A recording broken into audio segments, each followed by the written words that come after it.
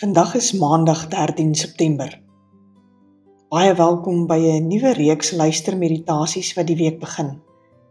Ons tema vir die volgende 7 weke is Ek glo. En ons wil graag in die tyd dieper reis met die God in wie ons glo en vra wie is hierdie God en hoe is God? In hierdie eerste week dink ons veral daaroor na dat ons glo in 'n God wat skep wat nuut maak. Ons skepper God. En ons stil word vandag nooi ek jou dan graag om nou daar waar jy is tot rus te kom in hierdie oomblik. Om jouself af te sonder vir die Here.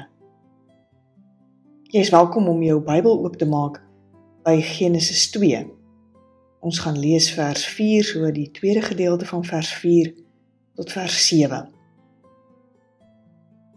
Jy is welkom om saam met my 'n kers aan te steek.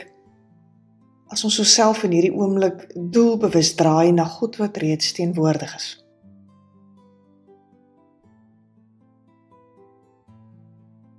Haal 'n paar keer lekker diep asem en blaas uit.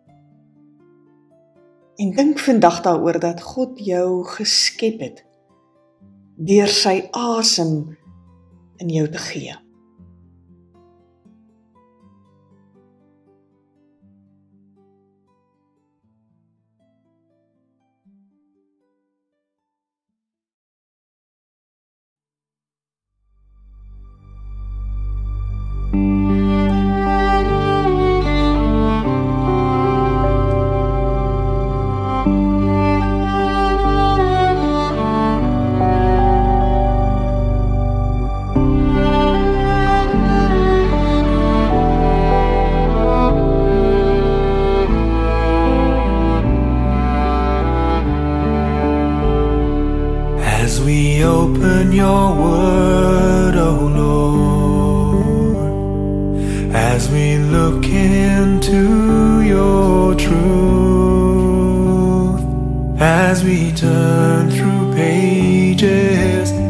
Of your wisdom, come show yourself to us.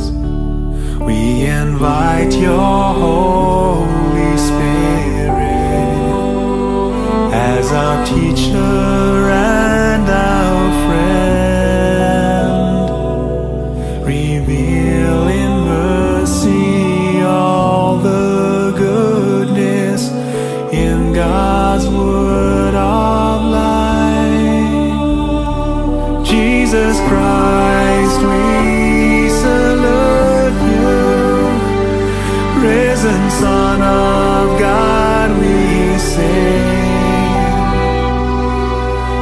you are all.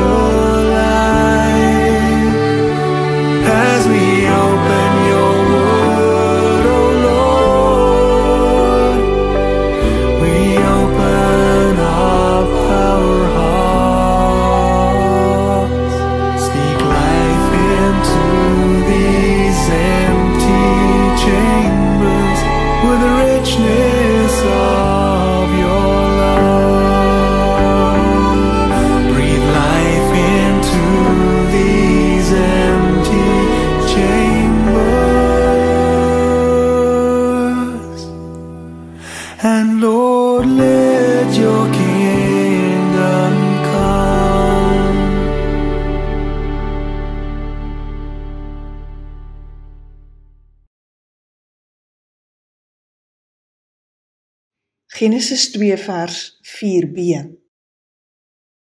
Toe die Here God die aarde en die hemel gemaak.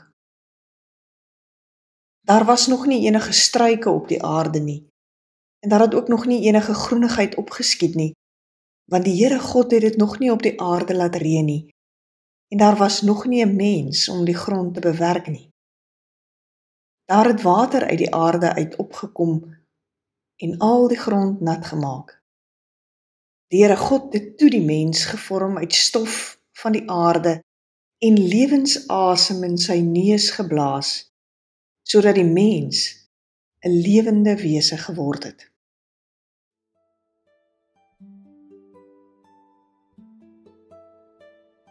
Wat is dit wat jou vandag veral opval in die gedeelte?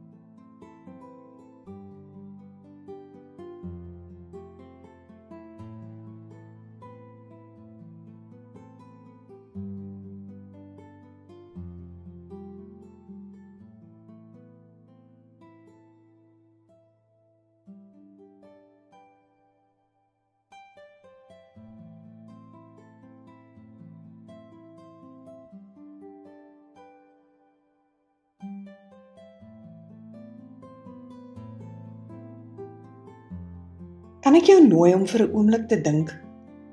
Wat is die woorde wat jy veral met die woord skep assosieer? Skryf sommer enige iets, enige woord wat by jou opkom wat jy met die woordjie skep assosieer neer. Daar's nie regtig iets wat reg of verkeerd is nie. Ek dink aan woorde soos kreatief, verrassend, geboorte,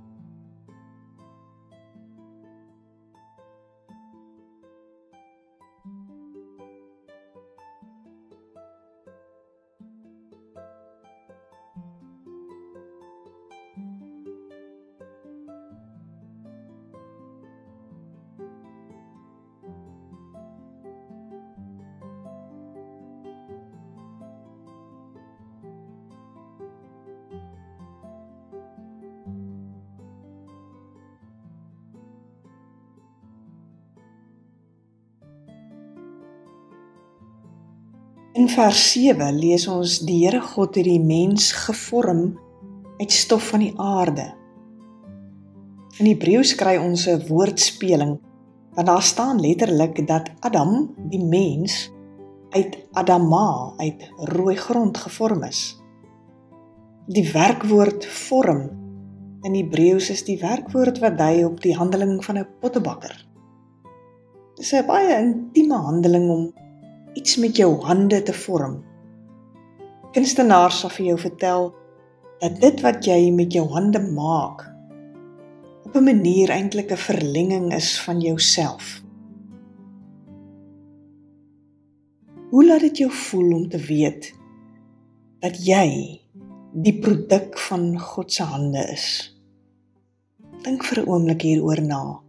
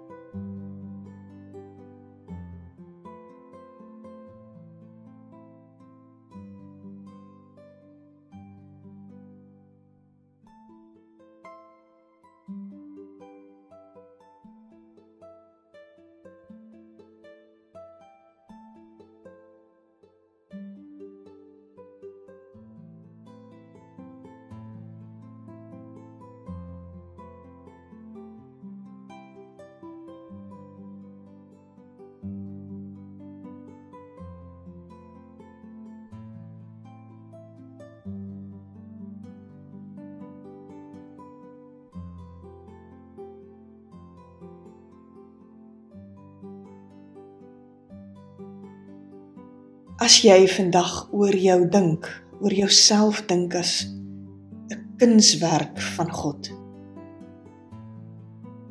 Wat is daar wat jy van die Here wil vra hy in jou moet vorm?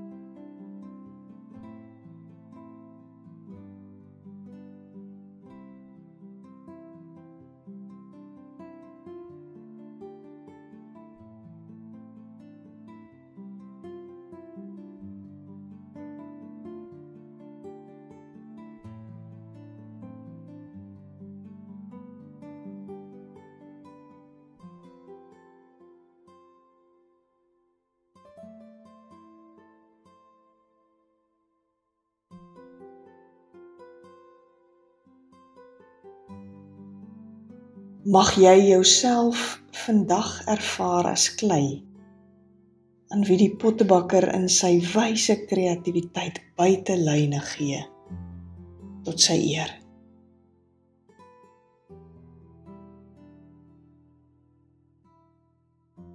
Ek glo in God. Ek glo in God die Skepper. Amen.